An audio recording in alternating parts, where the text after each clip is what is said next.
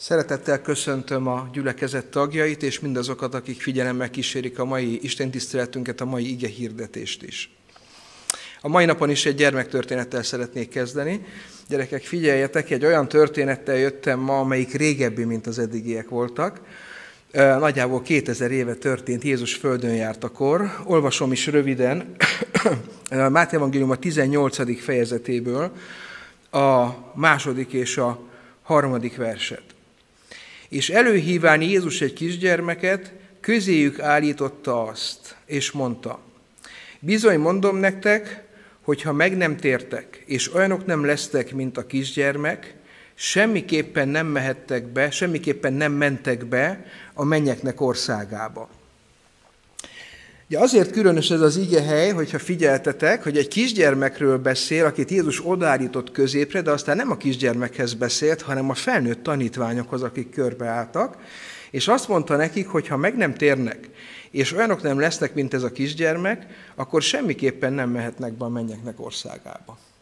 Rólatok van szó itt, ti vagytok a figyelem középpontjában mind gyermekek, a mindenkori gyermekek, és szerintem ez egy érdekes kérdés, hogy mi lehet az, amiben olyan, mintha a gyerekek előnyt élveznének a felnőttekkel szemben.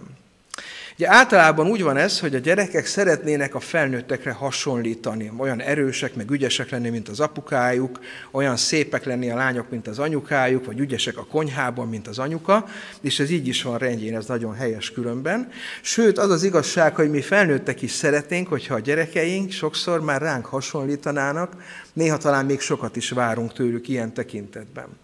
Viszont itt egy fordított dologról van szó a Bibliában. Jézus azt mondta, hogy valamiben viszont a felnőtteknek kéne hasonlítani a gyerekekre. Ez azt jelenti, hogy ti előnyben vagytok, egy bizonyos értelemben közelebb vagytok a mennyek országához, mert az odavaló belépés volt a téma.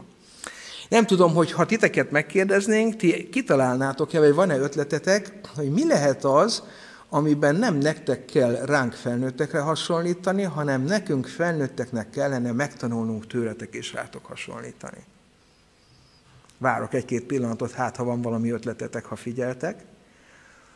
A folytatásból kiderül különben, fel is olvasom. Így folytatta Jézus, a negyedik verstől olvasom.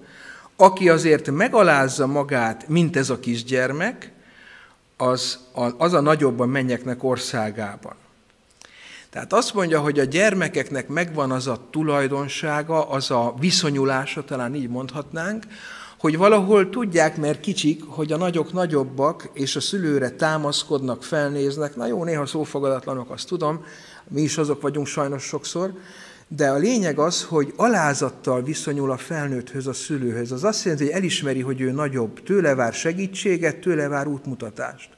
És Jézus azt akarta mondani azzal, amit itt mondott, hogy nekünk felnőtt emberekként is meg kell őriznünk ezt a viszonyulást az Isten felé, hogy alázatosak vagyunk, elismerjük a nagyságát, elismerjük a kicsiny voltunkat, elfogadjuk a vezetést tőle, sőt igényeljük, és a bajainkkal hozzámegyünk, és tőle várunk megoldást. Úgy, ahogy ti is. Ha elromlik egy játék, gondolom én, akkor a szülőkhöz mentek, hogy segítsenek, javítsák meg.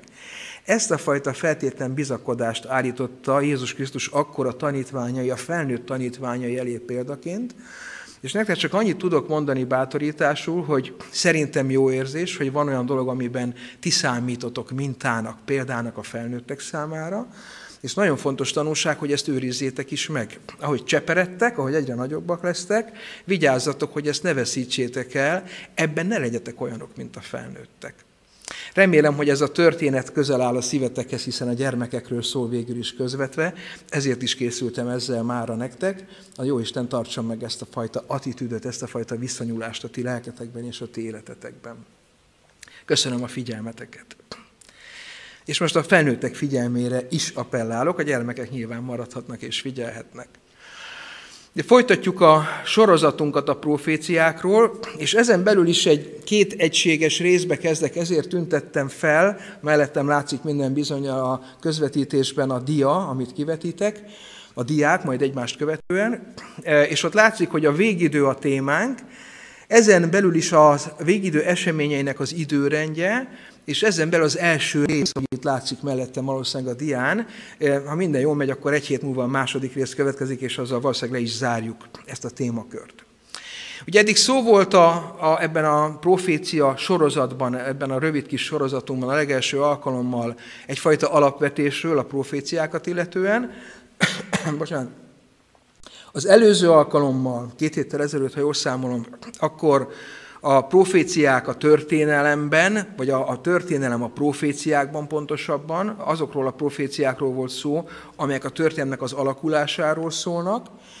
Ma pedig kifejezetten a végével foglalkozunk a történelemnek, mert hogy ugye van neki vége, innen van a végidő kifejezés is, ugye ezt megállapítottuk a proféciák kapcsán, hogy a történelem véges, az teljesen egyértelmű. Azok a proféciák, amikkel múlt héten foglalkoztunk, azok mind ide futnak ki, és azt látjuk, ha az összes proféciát megnézzük, hogy a történelmi proféciákon belül is a Biblia, minthogyha egy ilyen nagyítót használna, fókuszálna, ránagyít a történelem végére, mint ami fontos. Dánielnél is megjelenik ez már, de még inkább jelenések könyvében. A Biblia jobban részletezi, hiszen nagy kihívás ez a végidőben élés, megélése az, a mindennapi életnek, nagyon nagy kérdés, hogy egy ilyen hatalmas dolog, mint az emberi történelem, hogyan tud lezárulni, milyen módon zárja ezt majd le Isten, ezért is fontos, hogy jobban tárgyalja, részletesebben tárgyalja, és hát nem utolsó sorban nekünk is aktuális ez a dolog, hiszen minden jel szerint ehhez az időszakhoz közelítünk, vagy már inkább ebben is vagyunk benne, az alapján, amit a Biblia erről elmond. Ugye legutóbb a sorozatunkon belül, tehát a második alkalom, az előző alkalom alapigéje, az az ige szakasz volt, hogy vés táblákra a látomást, hogy könnyen olvasható legyen, vagyis vizuálisan is rögzüljön a fejekben, a lelkekben a mondani valója, hogy erősebb nyomot hagyjon a, a címzettekben, a mindenkori hívő emberekben, tulajdonképpen minden ember is címzett tágabb körben, de hát aki hallgatja, legalább az értse meg jobban. Er, ezen a mai alkalommal is egy ilyen táblát vagy táblázatot fogunk használni. Ezt a változatot láthatjuk most a dián mellettem. Itt látszik fent a táblázat felirata, a piros felirat fölött egy fejléc, így teljes a táblázatunk, csak a jobb láthatóság kedvéért a többi dián azt már elhagytam, hiszen a lényeg az, ami alatta van. A táblázatról annyit hadd mondjak el, amit itt látunk, hogy nem én készítettem, én egy csak lefordítottam jó pár évvel ezelőtt, egy amerikai lelkész testvérünk készítette, és az a célja a táblázatnak, amiről az alapíge szólt, ez a bizonyos vés táblákra a látomást, hogy vizualizálja a számunkra, összerendezze, egymás utáni sorrendbe helyezze, összefüggéseiben is megmutassa, itt a keresztvonalak is látszanak, ugye a vízszintes vonalak, ezeket az eseményeket, kifejezetten az utolsó napokkal kapcsolatban, vagy végidővel kapcsolatban, erre majd mindjárt visszatérek a következő dián.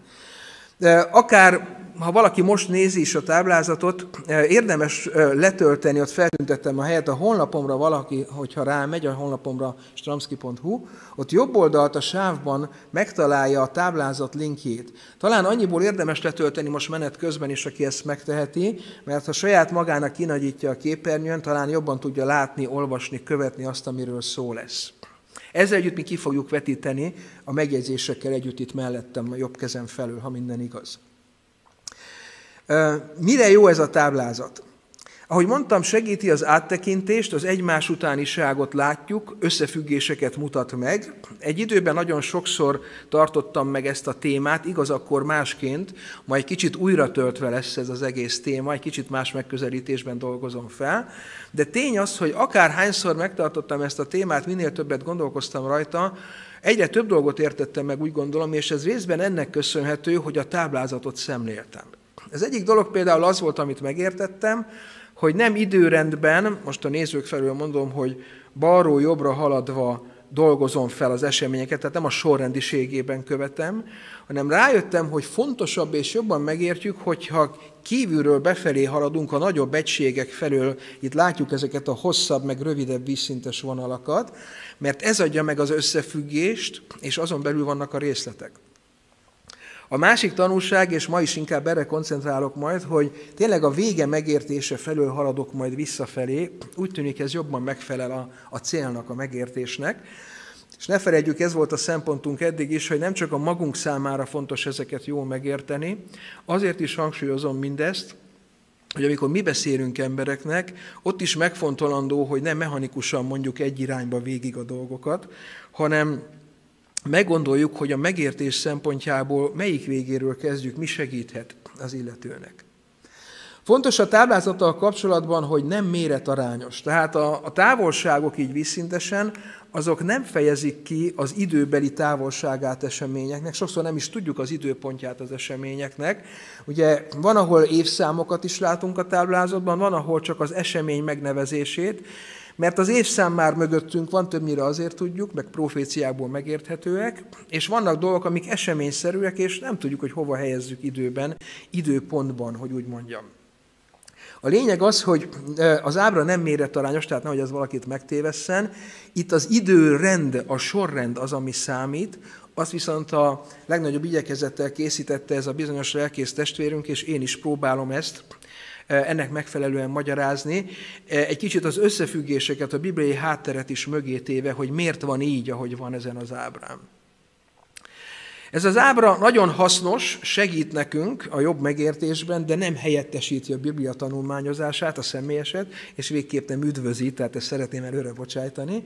Ugyanakkor jó haszna lehet, akár ki is nyomtathatjuk otthon, amit most mondok, bele lehet írni esetleg, de több helyről kaptam már visszajelzést, hogy van, aki betette a Bibliájába a táblázatot, és amikor olyat olvas, akkor beleírja, és egy helyen gyűlnek ezek a igehelyek, összefüggések, eh, adatok, szövegek.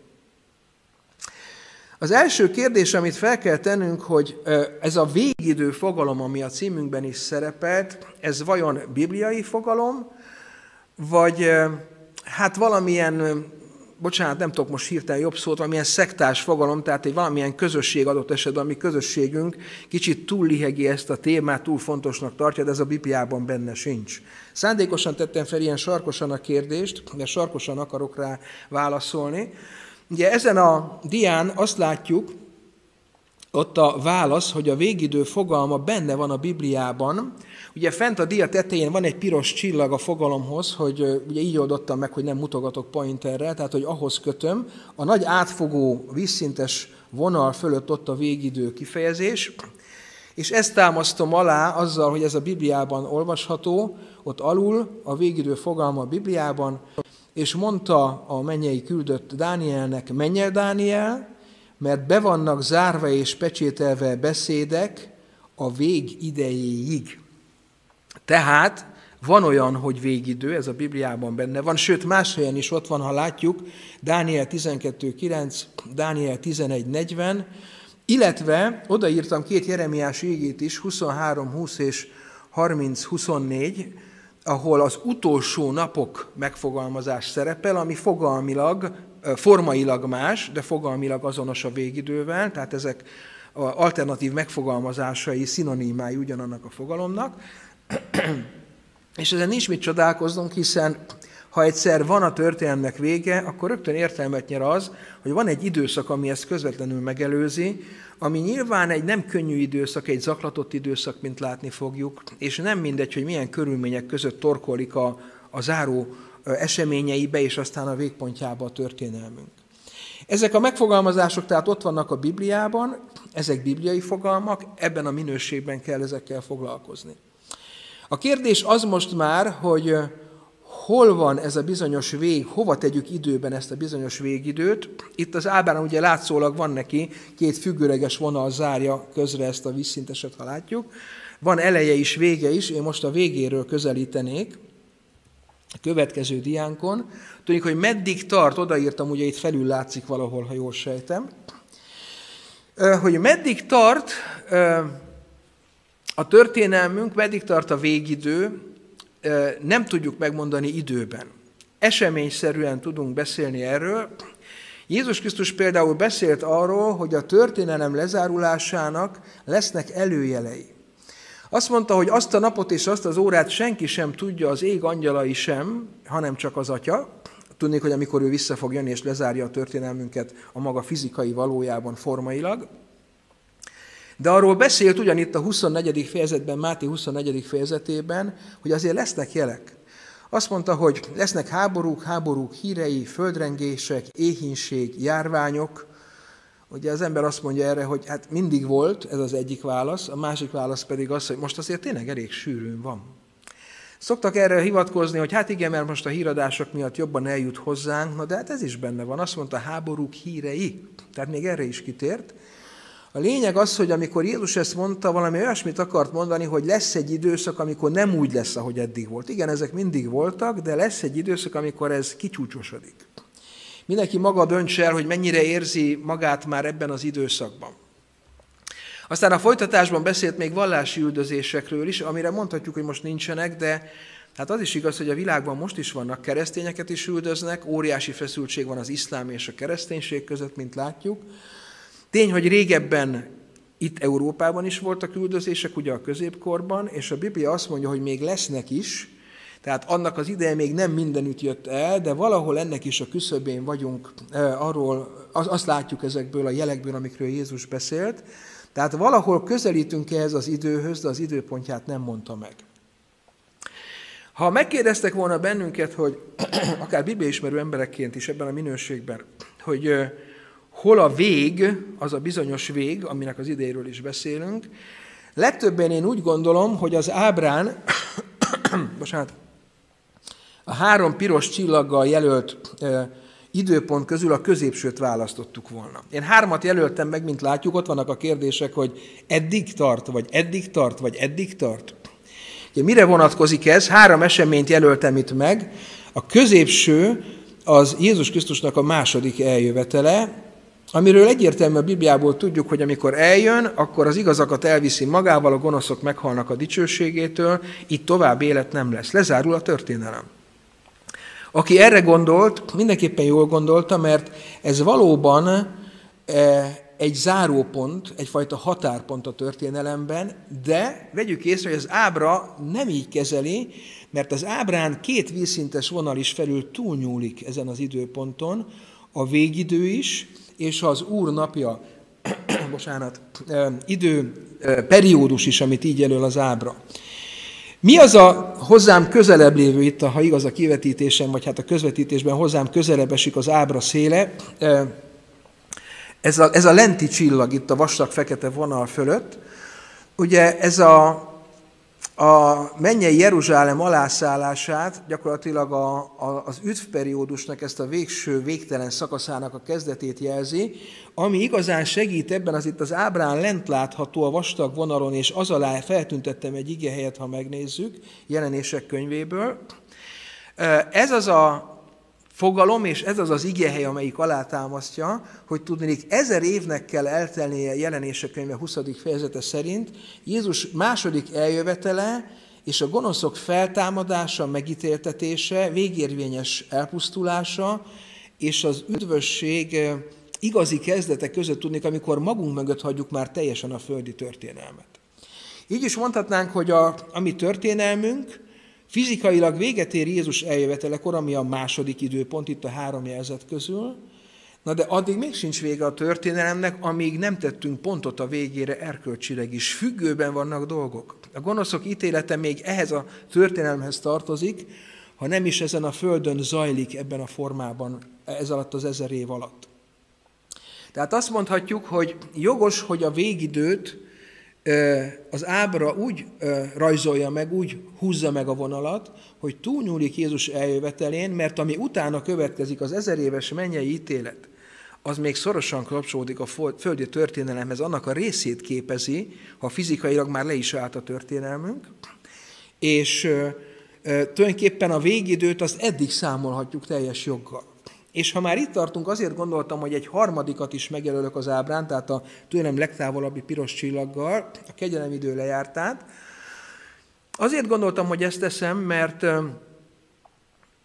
fogalmilag megtévesztett bennünket az, hogy még van időnk, mert ugye Jézus eljöveteléig kalkuláljuk a történelmet ösztönösen, hívő emberekként is, akkor addig ráérünk megtérni, Nyilván értjük, hogy az, amit az előbb elmondtam a végidőről, hogy túlhúzódik ezen, az azért már nem egy megtérési időszak, hiszen nincs a Földön élet. De a Biblia azt tanítja, hogy igazság szerint nem is a Jézus eljöveteléig van lehetőségünk a megtérésre, mert előbb lejár annak a lehetősége, hogy az Isten kegyelmét valaki igénybe vegye. Ezt ábrázolja az ábránk, ez az a bizonyos legelső csillagba arról jobbra nézve, ahol az eddig kérdést látjuk, azt mondja a Szentírás, hogy az embernek megtérésre adott idő, az első bűnesettől kezdve zajló, több ezer éve folyó kegyelemidő, aminek most is a hatály alatt élünk, az bizony egyszer véget fog érni, és ez a végetérés, ez időben nem esik egybe Jézus eljövetelével, és ezért nagyon megtévesztő, ha valaki a hátralévő időt e szerint számolja. Nekünk úgy kell készen lenni, hogy a kegyedelmi idő lejártára legyünk készen. Most arról nem is beszélve, hogy az egyéni emberi életünk annak a lejárta, az teljesen kiszámíthatatlan, nem, nem építhetünk a jövőre, a bizonytalan jövőre. Három különböző esemény tehát a vég kapcsán tartalmilag elválnak egymástól egyfajta, olyan, mintha valami szellemkép lenne, mint a régi tévékben volt, hogy igen, ez is egyfajta vég, ez a kegyelemidő lejárt, ez a megtérés adott lehetőség vége, ez fizikailag a történelem vége, ez pedig az utolsó, ez az erkölcsileg is lezárja a történelmünket, és magunk mögött hagyhatjuk vége teljes egészében. Arra gondoltam, hogy egy kicsit azért ennek a részleteire kitérek, hogy miért válik el ez a három esemény ennyire egymástól, az Isten miért így gondolta vajon, illetve tehát honnan értjük meg ezt a Bibliából, hogy így lesz. A, bocsánat, ahogy az előbb említettem is, itt lent látható ugye jelenések könyve 20. Eh, fejezetéből ez a bizonyos idézet, 4., 5., 6. versek, ahol nagyon egyértelműen megfogalmazza azt, hogy boldog és szent, akinek része van az első feltámadásban, tudnék, amikor Jézus eljön, mert annak nem árt a második halál, tudnék, amit azok kapnak majd, akik elítéltetnek, mint gonosztevők ezer évvel később. Tehát ez az első, második feltámadás, halál, ez itt teljesen definiálásra kerül jelenések könyvében. Azt mondja ez a szakasz, hogy ezer év terik el a kettő között. Innen tudjuk. Tehát ezer év terik el Jézus eljövetele, az igazak feltámadása, tudnék az első feltámadás, tudnék az első halálból, ami a földi halál, egy alvás a Biblia szerint. Tehát ez, ez az esemény, hogy ez megtörténik, hogy, hogy az igazak így feltámadnak, ettől kezdve ezer év telik el a második feltámadásig, a gonoszok feltámadásáig. Az a kérdés, hogy miért, miért nem lehet például ezt is egybe tolni, mi, mi, volt, mi lehetett Istennek a szempontja? Én nagyon fontosnak tartom, hogy ne csak megtanuljunk dolgokat, hogy ez egy bibliai igazság, ez, amit az ábra ábrázol, hanem értsük, hogy mi lehet a möge, mert akkor jobban meg is jegyezzük, én mindig ennek voltam a híve különben matekba is, amikor karepet álltam, hogy nem elég megtanulni, meg kell érteni, akkor jobban rögzül. Illetve ebből többet értünk meg az Istenről is, hogy hogyan gondolkodik, milyen méltányos. Ugye ahhoz, hogy valaki feltámadjon, vagy éppen ne támadjon fel, mert az is egyfajta ítélet, csak később, ha úgy tetszik, formálisan, ahhoz dönteni kell a sorsáról. Ahhoz, hogy valakinek a sorsáról dönteni lehessen, az meg kell vizsgálni az életét, hogy mit érdemel. Ez egy vizsgálati szakasz, ha úgy tetszik, ha jól tudom, a földi törvénykezésben is van ilyen, hogy nyomoznak, aztán vádat emelnek, aztán még vizsgálják, utána pedig ítélnek, aztán kihirdetik az ítéletet, ha jól mondom. Itt mindenképpen úgy van a Bibliában, hogy mielőtt Isten ítéletet hirdetne, előtte megvizsgálja az emberek életét, sőt ebben másokat is bevon. Ez nagyon érdekes. Ugye erre is utalok itt a diának a túlsó alsó sarkában, hogy kit, mikor és miért von be Isten az ítélkezésbe. Ahhoz, hogy az igazak feltámadjanak, előtte meg kell vizsgálni az életüket. De Isten nem egyedül vizsgálja meg. Dániel könyve 7. fejezetében azt olvassuk, hogy még látta a földi hatalmakat uralkodni, de közben már a mennyben ítélő székek tétetének le, ítélők ülének le, könyvek nyittatának meg. Teljesen egyértelmű egyfelől az, hogy van egyfajta párhuzamosság, hogy így mutassam, tehát a történelem még zajlik, de a mennyben már a kezdetét vette valami és hogy ez nem volt mindig így, ugye, mint hogyha berendeznék a helységet, leteszik a székeket, eddig nem kellett, de most elkezdődik az ítélet. Leülnek az ítélők, és elkezdik vizsgálni emberek életét. Úgy, hogy mire Jézus eljön, addigra megvizsgált életek, bírósági döntések alapján adhat kegyelmet üdvözülendőknek, és viheti őket magával. Ebben benne van az a nagyon szép kép, hogy az üdvözölendőknek nem kell részt venniük a saját tárgyalásukon és szégyenkezniük az életük miatt. A távollétükben vizsgálják meg őket, igazságosan, méltányosan, de mentik fel őket, hogyha fel lehet őket menteni a hit alapján, a Krisztus vetett hit alapján és a megtisztult élet alapján. Az a kérdés, hogy kik ezek az ítélők, mert addig értenénk, hogyha az Isten ítélne. Na de mi az, hogy többes szám? Ugye minden jel szerint az történik a mennyben, amikor ez az ítélet folyik, és a meggyőződésünk szerint már folyik, hogy Isten bevonja a mennyei lényeket azok közül sokakat ebbe az ítéletbe, nem azért, mert egyedül nem tud dönteni, nem azért, mert bizonytalan, nem azért, mert valamiféle támogatásra van szüksége, hanem azért, hogy azok a mennyei lények, akiknek egykor majd be kell fogadni a földről az üdvözülendőket, a megváltottakat, megnyugodjanak, lássák, hogy ezek az emberek letették a bűnt, maguk mögött hagyták, ezek nem veszélyesek, nem fertőzőek, jöhetnek közénk, úgy tűnik, hogy ezért az Isten bevonja az ítélkezésben a mennyei lényeket az üdvözülendők vizsgálatában. Aztán ezt nem nehéz elképzelnünk, mi is úgy vagyunk vele, hogy akár erkölcsi bűnökről, akár fizikai járványról, biológiai járványról van szó, szeretnénk nyugodtak lenni, erre szolgálnak ma a karantén intézkedések, ez egy abszolút aktuális hasonlat, hogy szeretnénk megvédeni a még nem betegeket attól, hogy elkapják a betegséget, és csak igazoltak, gyógyultak jöhetnek a többiek közé. Ez egy normális dolog, mindig is így volt, és ez igaz erkölcsi értelemben is. Erre szolgál az ítélet, és ezt a meggyőződést tudja eh, hát előidézni, vagy létrehozni azokban a mennyei lényekben, akik ebben részt vesznek. Miért nem lehet egybetolni ugyanakkor a két ítéletet? Nagyon érdekes, azt mondja a jelenések könyve 20. fejezete, hogy az ítélet második szakaszában, amikor az üdvözülendők már a mennyben vannak, akkor élnek és uralkodnak az Istennel ezer esztendeig, ami nem azt jelenti, hogy élvezik a hatalmat. Az uralkodás az nagyon sok torz kép él ugye erről, hogy az egy hatalomgyakorlás, öncélú, sokszor önző hatalomgyakorlás. Azt kell mondjuk, hogy ez, ez egy torzulás, eredetileg Isten azt mondta, hogy uralkodjon Ádám a földön, ami azt jelenti, hogy viselje gondját, tegye helyre, amit helyre kell. Uralkodni azt jelenti, hogy ítélni kell. Például Salamon uralkodásában nem annyira hadjáratok domináltak. A Biblia azt mondja, hogy a bölcs döntések, a két asszony pere, amire emlékezhetünk. Na ez az uralkodás, hogy igazságot tenni, megítélni. És azt mondja az Isten, hogy az üdvözölendőket be fogja vonni az ítélet második szakaszába, uralkodnak majd vele, nem annyira azért, hogy szavazzanak, gondolom én, vagy hozzászóljanak, hozzászóljunk, reméljük megadatik nekünk is, hanem bevonva őket, hogy lássanak, tanuljanak és okuljanak.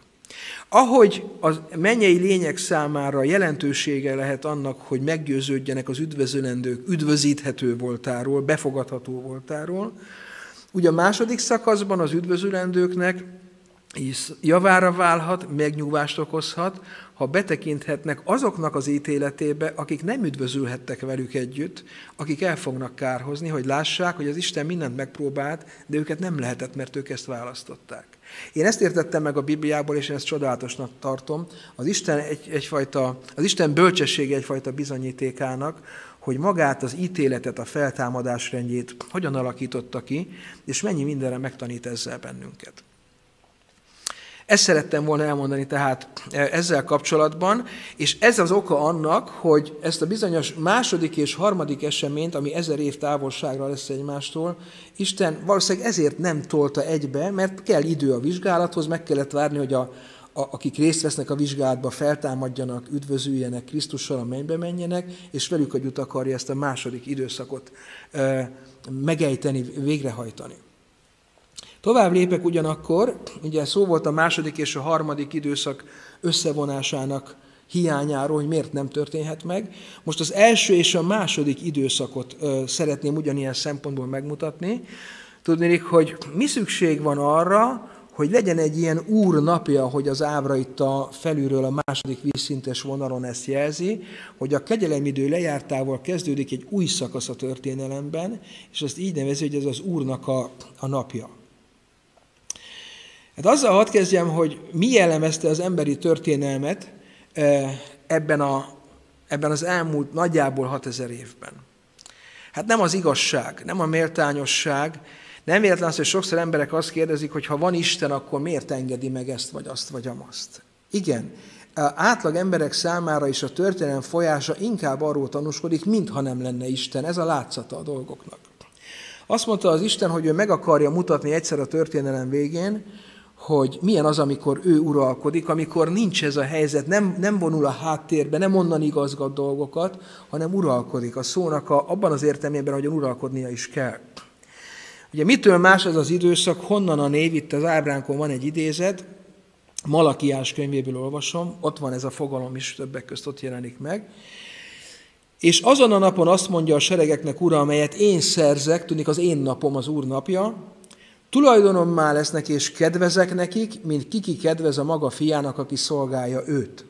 Tudnék, hogy az övéiről mondja ezt, hogy akkor majd meglátszik, hogy jó dolog az Úr gyermekének lenni. Mert sokszor ebben a történetben pont fordítva van, mintha fordítva lenne. És megtértek és meglátjátok, hogy különbség van az igaz és a gonosz között, az Isten szolgája között és a között, aki nem szolgálja őt.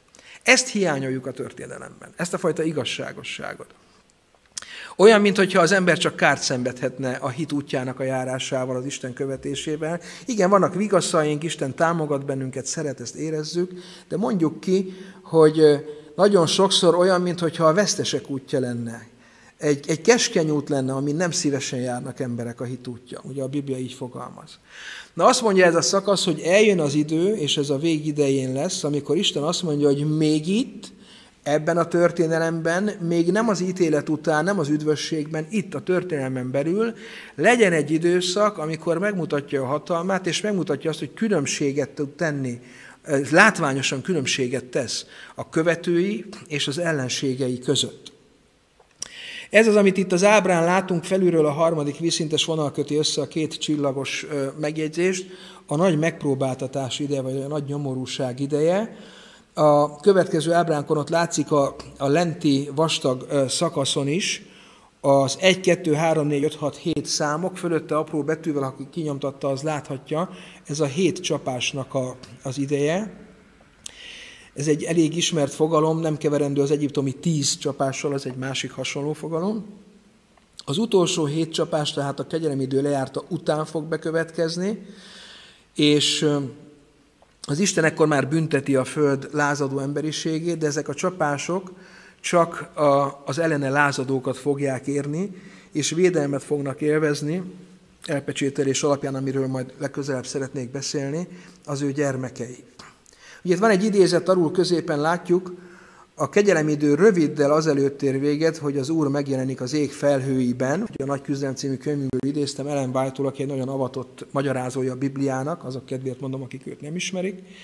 Hiteles, meggyőződhetünk róla, hogy tényleg megalapozott ismeretekkel bír és szól, és ír. És azt írja, hogy tehát idő választja el, nem hosszú, nem tudjuk mennyi a rövid történelmileg, egy rövid idő van a kegyelem lejárta és az Úr megjelenések között, és ez egy nehéz időszak lesz, nyomorúság ideje, a hétcsapás ideje, kihívásokkal teljes. Ez egy fontos határpont tehát a végidőn belül, ugye a végidő az a nagy egész, még az elejéről nem beszéltünk, a kegyelemidő egy közbülső határvonal, egy döntő határvonal, sorsdöntő, mert addigra el kell, hogy dőjön az emberek sorsa így vagy úgy az üdvösség tekintetében. Azért is, amit itt az ábránknak a túlsó oldalán látható sárga mezőben olvashatunk, hogy és megtelt a templom füsttel, a mármint a mennyei templom, az Isten dicsősége és ereje miatt, és senki a templomba be nem mehetett, míg nem a hét angyal hét csapása bevégeztetik. Hát amúgy se volt oda bemászkálás, hogy így mondjam, oda csak a pap mehetett be, tudnék a főpap, a földi templomban is, a jelképes szolgálatban, a mennyben csak Krisztus, mehet be a templomba, mert ő a mi papunk és főpapunk, de azt mondja, hogy nem mehet be senki, hát ha senki, akkor az nem a többiekre vonatkozik, hanem hogy az ő szolgálata, ebéri szolgálata, közbenjárása, a, a bűnök rendezése érdekében végzett közbenjárása megszűnik. Ezt mondja jelenése könyve 15. fejezet 8. verse, mint látjuk. És ez az a pont, ahonnantól kezdve nincs mód bűnrendezésre. Aki eddig nem rendezte, ezután nem tudja rendezni. Aki a hét csapás idő alatt elesik, elbukik, az nem fogja tudni rendezni, és egy nagyon nehéz emberpróbáló időszakban kell megállni azoknak, akik megállnak, és fognak nem megállni azok, akik nem, mert eleve lázadnak az Isten ellen. Ezekről majd talán legközelebb egy kicsit bővebben szólok, most az összképet szeretném megmutatni. Hol sűrűsödnek az események az ábrán? Ha megnézzük az ábrát, megint egy piros csillaggal jelöltem azt a mezőt, azt a tájékot, ahol én úgy látom, hogy a, a címszavak is egyre sűrűbben vannak. Ez is azt mutatja közvetve egy ilyen furcsa közvetett bizonyíték, hogy nyilván a kegyelem idő lejárta az igazi csúcspont, addig dőlnek el az emberi sorsok, ahogy ideírtam az aljára a diának, a végső összecsapás előtt mindenkinek döntenie kell, kialakulnak, rendeződnek a sorok, ki van Istennel, ki van ellene. Ez egy küzdelmes időszak lesz, vallási üldözések ideje lesz ez a Biblia szerint, mert 13. fejezete beszél erről. És nyilván itt a legnagyobb a küzdelem, itt történnek meg a legfontosabb dolgok, tehát az eseményeknek a torlódása is azt mutatja, hogy ez a fordulópontja egy bizonyos értelemben a lezárulása a történelmünknek, mert a kegyelem véget ér, ennyiben lezárul a történelmünk. Az egy más kérdés, hogy lesz még egy periódus, amit Isten tovább enged, mert van egy szempontja ezzel kapcsolatban. Egy kicsit a szempontra is utalva, de még előtte egy fontos kérdés feltéve, ide írtam az ábrán, látjuk, hogy nyomorúság, egy perjellel jeleztem, tudtam, hogy mutassam egyenlő mártíromság, tehát, hogy benne van ez is, így kell értsük ezt a nyomorúságot. Szó szerint akár a halál is értendőeként. Ugye ennek van egy, van egy logikája, amit szeretnék majd mindjárt egy idézettel alátámasztani, de előtte még ennél a diánál maradva, itt lent egy másik idézetet hadd mutassak. Ugye ezen az ábrán két csillagot jelöltem meg, a hozzám közelebbi, az a nagy megpróbáltatás ideje alatt van, azt akartam ezzel jelezni. A tőlem távolabbi csillag, az pedig a megpróbáltatás rövidebb vagy kisebb, vagy kisebb megpróbáltatás ideje, nehéz ezt pontosan visszaadni, az a kegyelemidő előtt van, mint látjuk. Az egyik a kegyelemidő után van, az a hosszabb vonal, a rövidebb a kegyelemidő előtt van. Ugye Ellen White, akire már utaltam, írt erről a maga idejében, és a kortársainak megvolt az a kiváltsága, hogy amíg ő élt, addig megkereshették kérdésekkel. És őt is megkeresték, az egyik kijelentése kapcsán egy kérdéssel, a Korai Írások című könyvében volt ez, és ennek egy újabb kiadásában, magyar nyelven is ki van adva, most nem néztem sajnos évszámot, a 77. oldalán olvasható ez a bizonyos magyarázat. Tudnélik, a, az újabb angol kiadásba beletették ezt a magyarázó megjegyzését, mert olvasói levelet kapott, és mivel megválaszolta, gondolták, hogy segíti a következő olvasók szövegértését is. A kérdés az volt, hogy mit kell érteni a megpróbáltatás rövid idején, mint fogalmam. Az, amit most a tőlem távolabbi kis piros csillaggal jelzett. A válasza ez volt. A nyomorúság idejének a kezdete, amiről itt szó van, nem arra az időre vonatkozik, amikor a csapások kijöntetnek, tehát amit a hozzám közelebbi piros csillag jelöl, a nagyobb nyomorúság idejét, hanem arra a rövid időre, ami a kitöltetésüket megelőzi, mi alatt Krisztus még a szentében tartózkodik. Vagyis Ellen White egyértelművé tette, hogy a nyomorúság az a kegyelemidő kezdete, bocsánat, kegyelemidő lejárta előtt kezdődik el, tehát ez a kisebb idő, ez a rövidebb idő, utána lejár közben a kegyelemidő, és a nyomorúság folytatódik, vagy ha úgy tetszik, talán még nagyobb lesz. Tehát magyarul a kegyelemidő ketté osztja a nyomorúságos időszakot is ilyen értelemben, és ennek van jelentősége a kérdésünk szempontjából. És most mutatnám meg akkor a azt a fajta logikát, azt a levezetést, amit szintén tőle idézek, ezúton a Nagy Küzdelem című könyvből, ezzel az időszakkal kapcsolatban. Azt írja, emberileg ebben az időszakban, tehát egyértelműen a hét csapás a nagynyomorúság idejéről ír, emberileg mégis az lesz várható, hogy Isten népe ekkor vérével fogja bizonyságtevését megpecsételni, akár csak az előtte járó mártírok. Ők maguk is attól tartanak, hogy az Úr kiszolgáltatja őket ellenségei gyilkos kezébe. Félelem és gyötrelem ideje ez. Éjjel és nappal szabadulásért kiáltanak Istenhez. Tehát ez a háttere, a közege annak, amiről szó lesz, és most jön a lényeg. Ha Krisztus hű tanúinak a vére ekkor hullana, tehát itt, ahogy az ábrán látjuk a hét számot alul, a hét csapás ideje alatt, az nem volna Isten aratására gyümölcsöt termő magvetés, miként a mártírok vére volt. Hű, tanú, hű, hű bizonyságtevésük senkit sem győzne meg az igazságról. Tehát azt mondja Ellen White, hogy a nagy nyomorúság ideje alatt Isten nem enged meg mártíromságot, mert az a szerepe az a funkciója, ami mondjuk az Istváné volt, hogy vértanú lett, de Pál utána megtért, vagy mondhatnánk másokat. Tehát a mások megtérését szolgáló jelentősége a vértanúságnak, e, ez a szerep ez elvész, miután a idő lejárt, a idő után ennek már nincs e, értelme, ezért az Isten nem fogja megengedni. Az egy más kérdés, hogy ebből közvetlenül mi következik. Visszalépek egy diát, kérem, hogy kövessük majd akkor a kivetítésben is. Tehát, ha visszalépek ide, a hozzám közelebbi piros csillaggal jelzett hosszabb időszakban, tehát nincs értelme már mártíromságnak, Isten ezért nem engedi meg, mert lejárt a kegyelemidő, de ebben közvetlenül benne van az a gondolat, hogy a hozzám távolabbi, az előbbi, a rövidebb és piros csillaggal jelzett időszakban, ott még ennek lehet jelentősége és alkalma. Nem zárhatjuk ki. Ez tehát a válasz erre a kérdésre. Illetve még egy kérdés, most már közeledünk az utolsó diákhoz. Kettőt léptem, tehát akkor előre kérem, hogy majd kövessük.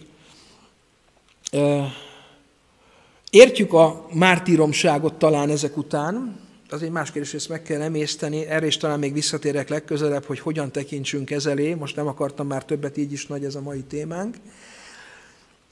Ha a mártíromságot legalább logikailag értjük, amit elmondtam, még mindig ott a kérdés, hogy de mire jó akkor a nyomorúság átélése. Ha már úgy sincs mártíromság, mert nincs értelme, akkor itt jön a kérdés, amire elkezdtem mondani, hogy miért nem lehet egybetolni a kegyelemidő lejártát és Jézus eljövetelét, mi szükség van erre a köztes időszakra, mire használja ezt Isten. Itt is szeretnék bibliai idézetekkel válaszolni. Dániel 11.33 az első, azt mondja, a nép értelmesei sokakat oktatnak, de hullanak fegyver és tűz miatt, fogság és rablás miatt napokig.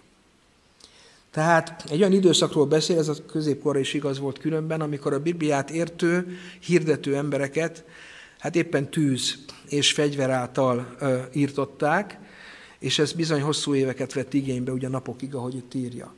De mi volt annak az értelme, és mi lesz az értelme ennek a végidején?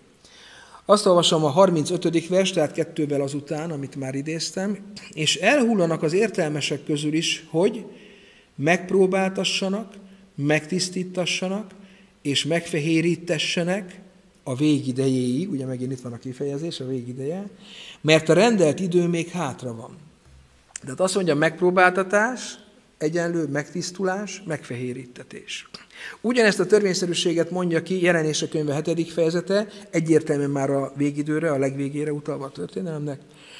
Ezek azok, akik jöttek a nagy nyomorúságból, amit itt az ábrán látunk, ugye a sárga mező fölött meghagytam, hogy lássuk, pont fölötte van, akik jöttek a nagy nyomorúságból, és akik megmosták az ő ruháikat, és megfehérítették a ruháikat a bárány vérében.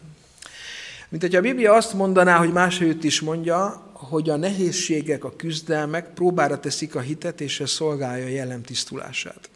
Isten meg akarja mutatni azt, hogy milyen, amikor végre bünteti a gonoszt, lejárt a kegyelem, lejárt a türelem, és meg akarja mutatni azt, hogy milyen, amikor megvédi az övéit a hét csapás ide alatt az oltalma alá helyezi, ami ugyanakkor nem jelenti azt, hogy nem lesz küzdelmes, oltalom alatt élve is egy szenvedő világban élni, és ellenállni a kísértéseknek. És azt mondja, hogy ezzel a hit, az erkölcsi tisztaság magasabb fokára juttatja el az övéit.